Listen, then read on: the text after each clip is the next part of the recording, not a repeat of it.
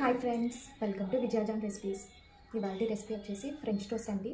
Bread use చేసి ఈ recipe prepare చేసుకుంటాము. సో బ్రెడ్కి సంబంధించి నేను ఒక టిప్ షేర్ చేశాను. ఆ టిప్ చాలా యూనిక్గా ఉంటుంది. సో వీడియో చివరి వరకు చూడండి. టిప్ తెలుసుకోండి. లెట్ స్టార్ట్ ద ప్రాసెస్ ముందుగా three bread slices and two ఎగ్స్ని తీసుకోవాలి.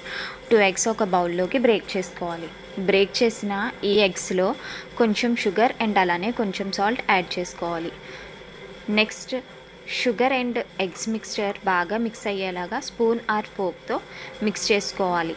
ఇప్పుడు ముందుగా రెడీ చేసి పెట్టిన బ్రెడ్ స్లైసెస్ని టూ పార్ట్స్గా కట్ చేయాలి. నెక్స్ట్ స్టవ్ మీద ప్యాన్ పెట్టుకుని కొంచెం గీ ఆర్ ఆయిల్ యాడ్ చేసుకోవాలి. నేనైతే ఇక్కడ గీ యాడ్ చేశాను. నెక్స్ట్ కట్ చేసిన బ్రెడ్ స్లైసెస్ని ఎగ్ మిక్స్చర్లో టూ సైడ్స్ డిప్ చేసి ప్యాన్లోకి యాడ్ చేయాలి. ఇప్పుడు స్టవ్ మీడియం ఫ్లేమ్కి టర్న్ చేసుకుని ఒక టూ మినిట్స్ తర్వాత సెకండ్ సైడ్ కూడా కుక్ చేయాలి. సైడ్స్ బ్రౌన్ కలర్ వచ్చే వరకు కుక్ చేసుకోవాలి. చూసారు కదా మంచి బ్రౌన్ కలర్ వచ్చాయి. సో నేను ఈ స్లైసెస్ని సర్వింగ్ ప్లేట్లోకి తీసేసుకున్నాను. సో ఇలానే సేమ్ ప్రాసెస్లో మిగిలిన బ్రెడ్ స్లైసెస్ని కూడా ఎగ్ మిక్స్చర్లో డిప్ చేసుకుని కుక్ చేసుకోవాలి. ఈ బ్రెడ్ స్లైస్ని కూడా రెండో వైపు టర్న్ చేసుకుని బ్రౌన్ కలర్ వచ్చే వరకు మీడియం ఫ్లేమ్ మీద కుక్ చేసుకోవాలి.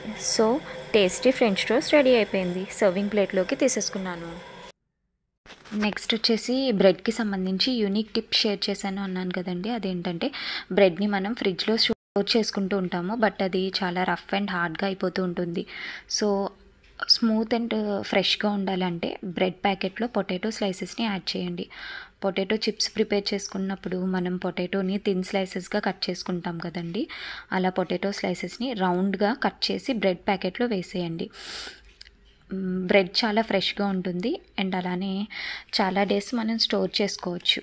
సో ఈ టిప్ మీరు కూడా ట్రై చేయండి. మీకు వర్కౌట్ అయిందో లేదో కమెంట్ సెక్షన్లో నాతో షేర్ చేసేసుకోండి. Thank you for watching.